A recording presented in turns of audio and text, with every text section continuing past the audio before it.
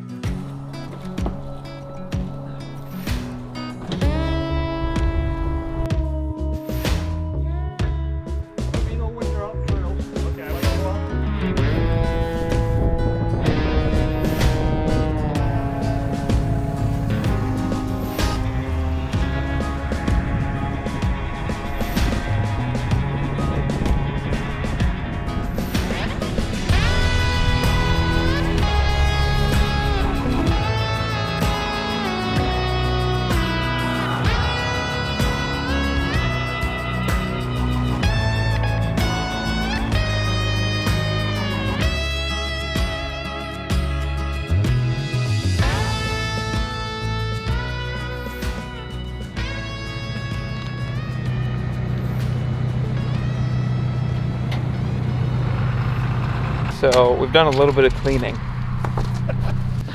There. Wow. Alright.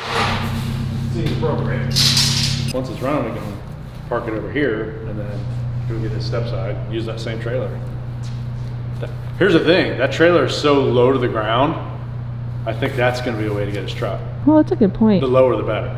That's a good mean, that truck, that, that thing is low. That's a low trailer, which is awesome. Nice.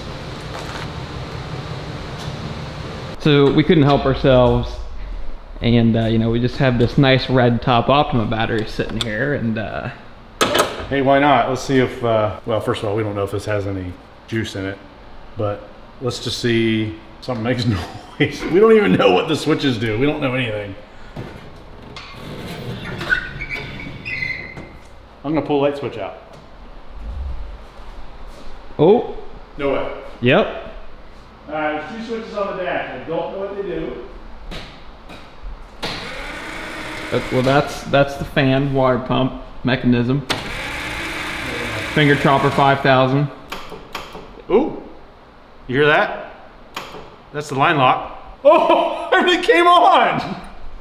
No way. Look, all the gauges came on. It's got 11 volts. Okay. But everything came to life with the key. It still works. The oil light on the dash is the original 1972 like oil light that would come on when you turn the uh, key on. It works. So back in the old days, I don't know if you've ever seen these before. Have you ever seen these? Mm, I don't think so. So these are shift light pills. So, so right, see this right here? Yeah. So that's shift light is at 6200. Oh. So because he, his shift light is separate from his tach, you had to plug in these pills Hmm. to tell you to, to work the shift light. So, oh, the dash is completely intact. I love it. We got the story on the yellow glasses. They're for nighttime.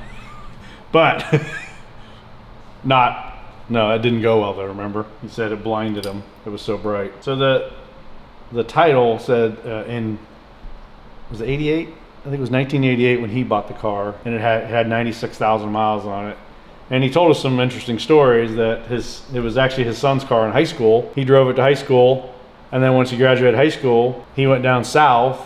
So I think he went to Mississippi first for a while, and then he went to Florida, and then I guess he wanted the car back. So they went down to Florida, picked this car up, and drove it all the way back. And uh, you know, a 318 two barrel, you know, it made it, but they said it was hot because it didn't have air conditioning. So it was kind of cool that it, it had a decent amount of road miles, but car is yeah, the sheet metal is just unbelievably intact. I mean, there's just no rust on the car that I found yet. You've got to wear those when you drive. So the only uh, we got a little bit of ugliness right here. I mean, it's not bad.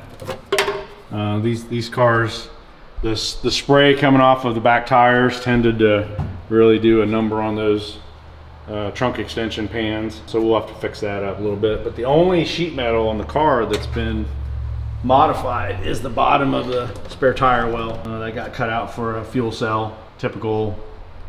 I mean, it was bracket stuff that every bracket car got when these plastic fuel cells came out they all got it so not surprised. But this is an easy fix actually. Uh, they actually sell the bottom of the pan just the bottom. You You're just, gonna put a stock tank back in it, or what? i'm thinking about it. I, I really am. Um, yeah I, I think i would and i think what i would do is i would take a stock tank and put a sump in it. So you can actually buy a sump that you weld in. Mm-hmm. um, and then you're you're not using the stock pickup uh, tube and all that. I don't want to do that. Right. Um, we'll see. I mean, I, I, I might put a stock tank back in it. At least this was an 850. I can't remember. I think so. 850 on a 340. I'll have to look up the part number, but it's a Holley Strip Dominator intake, single plane. It's, as far as I know, that was the best single plane intake out for a small block Chrysler. Okay, he is on. Oh yeah, That it? I heard something turn on back here. Yeah, Yep, that's it. Cool. we got fuel pumpage. We got fuel pumpage.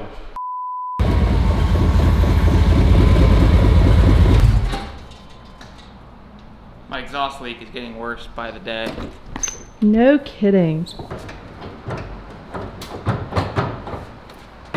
Like today's the day it's gonna do it. Like. Got it.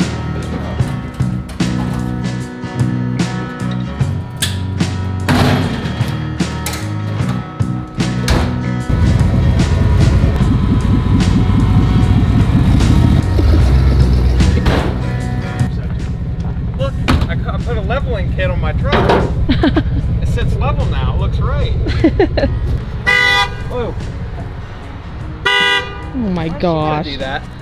I don't know. Scares the death out of me. Okay, okay.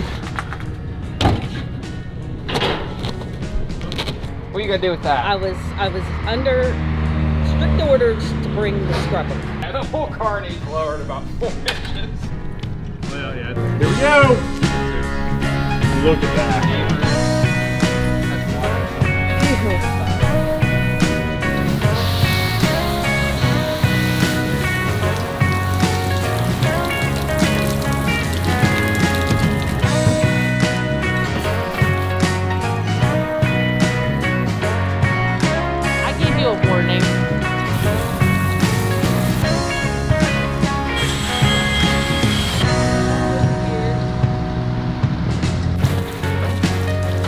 Right, good enough. Hose around.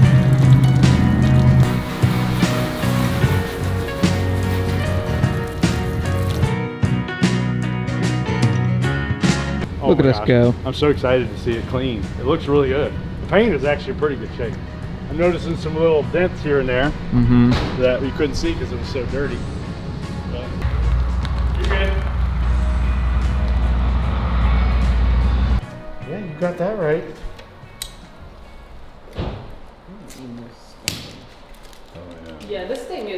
Too tall. Q for queen. He's a queen. You're a good band. Make yourself useful and stop. Stop with your shenanigans. Hey Tip, that's a cool hoodie. Where'd you get that? From my two favorite YouTubers, Gen2Garage.com. Dot com. Like and subscribe. She gets it. She's in the zone right now.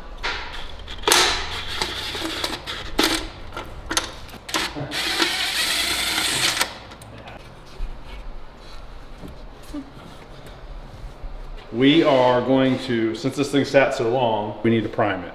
We've uh, got the engine on top dead center, pull the distributor out, prime it, and then we'll we'll check valve lash.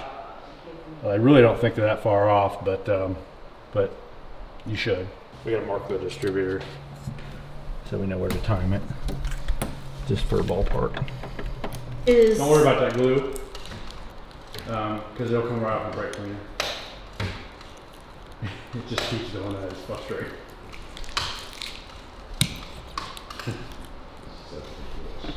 you know what? When you look up the word ridiculous in the dictionary, her picture's right there. Hey Tommy, don't worry about the glue. Brake cleaner will bring it right off. That's what I heard. Nicely done. Thank you, thank you. Well, I'm sure we could find. s- Oh, oh, oh. palette. Let you go. He's probably good at what's Skill. That? What's that game? Surgeon. He's probably good Oh, at surgeon. Operation. Operation. Surgeon. Sorry. Surgeon. You guys knew what I was talking about, okay? I'm glad she's mocking you for once because she's been on a roll. I almost had to spray her with the water out there. She's getting a little too feisty. It, it's not too late. we got it ready to prime, so we're gonna give it oil pressure, and then we'll want to check the oil pressure gauge, um, see how kind of oil pressure. But we're gonna actually see oil. We'll see oil start to come out here on the valve train once we get pressure here. So this goes clear down into the oil pump, all the way down into the bottom of the pan, and then it's already grabbing. So it should oil that side first. Should see. Oh yeah, there it goes. I hear it. So what you're gonna you're gonna see oil start to come out from the shaft because the way these work on a on a Mopar, the bottom of the rocker shaft underneath the rocker arm is where the oil comes out, and that's what oils the rockers. So you're gonna start to see oil squirt out from everywhere once we get pressure, which we're getting pressure now. Oh, okay. You see it? There we go. it's coming through. Yep, there Yeah, you go, right there.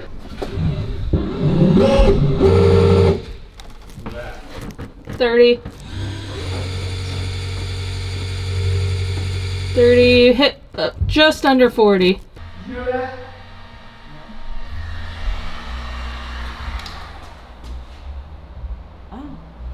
They actually put glitter in there. Did you know that? Yeah. I didn't know. I didn't know that. Okay. Everybody stand back. Is there a fire extinguisher? Fire extinguisher. Okay.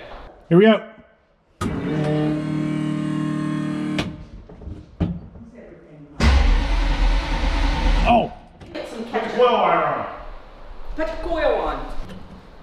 You and Craig love to do that.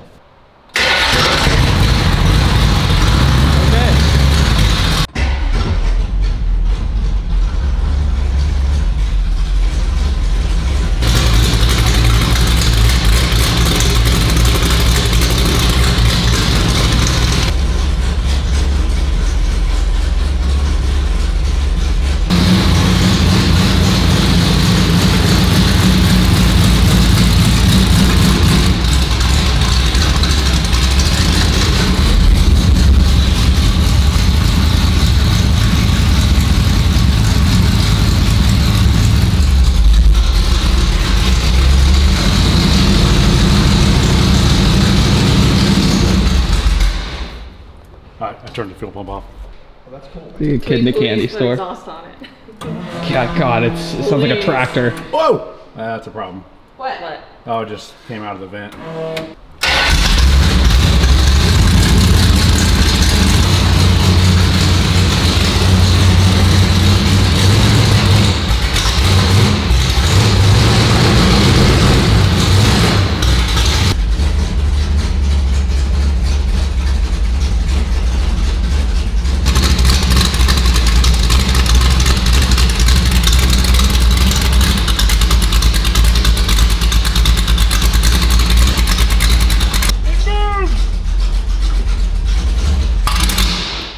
So we're taking it for a drive. 20 years.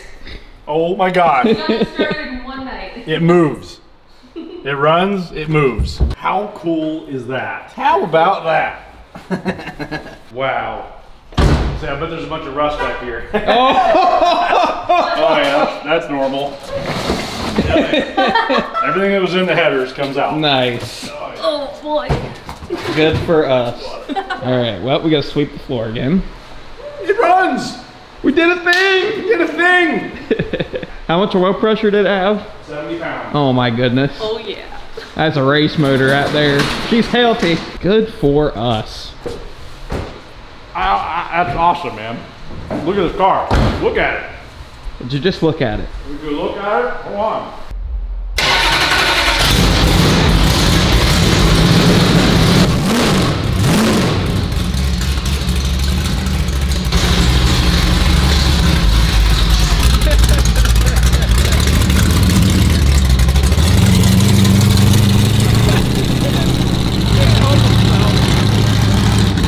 It sounds better outside. It's got reverb.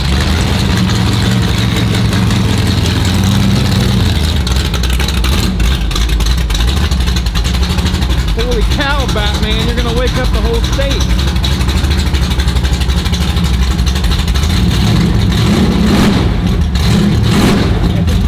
It's sounding better.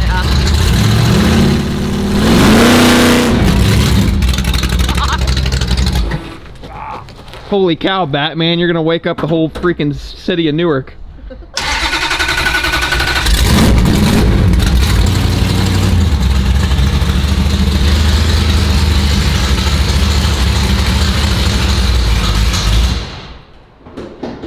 You know you got reverse lights? No. Yeah, you do.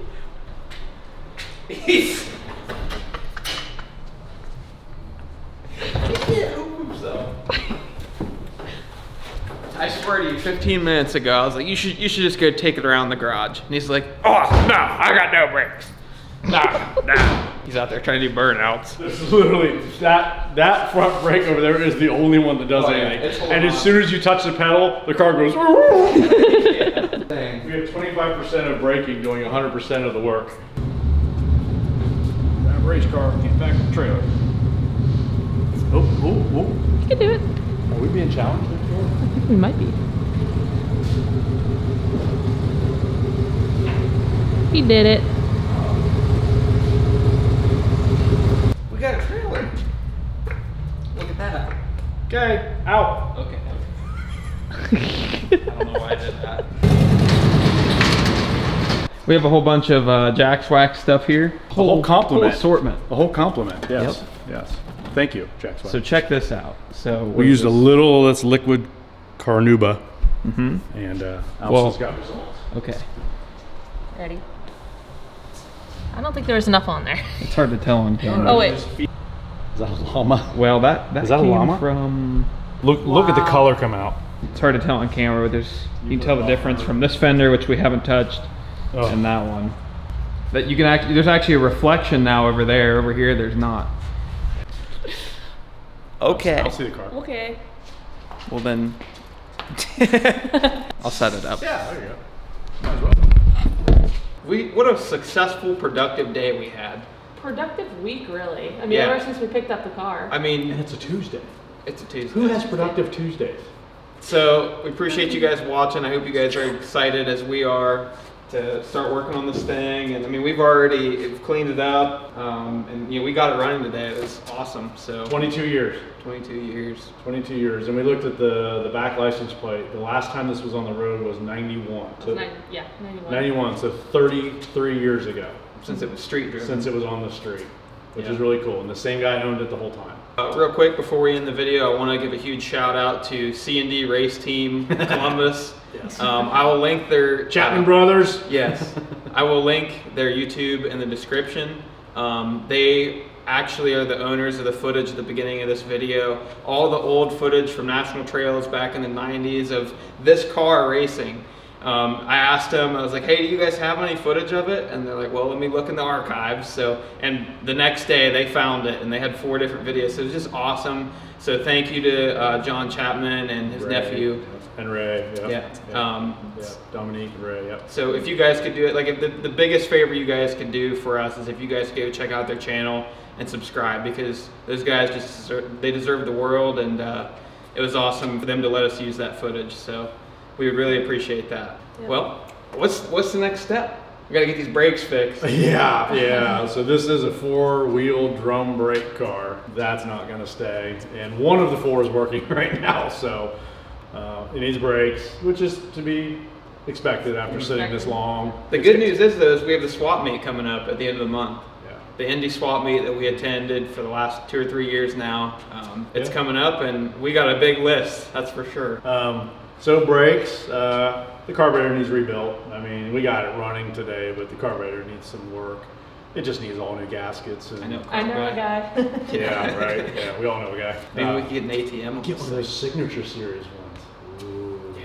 Yeah. Uh, you know, and just got to go over the car and just you know check it out, uh, make sure it's safe, and but beyond that, Get I don't know. What we're gonna, yeah, who knows what we're gonna do with this thing? I don't know, but it, it is it is a gem. It is it is a gem. Just, It's one of those deals where we just go and get it and we'll think about what we do with it later. you know? And you know, and hats off to Butch. What a great guy. I mean, I've known that guy for ever since the early '90s when we raced with each other and against each other. And just a super nice guy then, and, and it was it was so much fun to catch up with him after you know 20 years or so. Honestly, I haven't talked to him, and and you know what? I'm honored to own his car. I really am. I mean, it's it's a it's been a real treat the whole thing uh, from the first time I went to look at it to, to getting it fired up today and I know he's going to enjoy this video as well so it's, it's been fun catching up with him and these guys got to meet him and you know u- us old guys have some pretty funny stories and, and uh, it's always it's always cool so Yeah, it's been I, great I think it's found a, a good home. yeah We're going to take care of it. That's for sure. All right, well, we appreciate you guys watching, and uh, I guess we'll see you in the next one. Dusty the Duster. The Duster. You know, like Rusty's Rusty's. from Cars. But we name it Dusty's. Dusties. Look at this. I kind of like Look that. how clean those are cleaned up. metal polish they 15s, but I keep them clean. you could put a turbo right here. at least one At least one. I mean I'm, I can't believe you just said a turbo I reckon you could remove that battery tray and uh, put one there and put another turbo. I reckon? He did. I think it would start up right now. You don't think so? Tell you the truth, I wouldn't want to really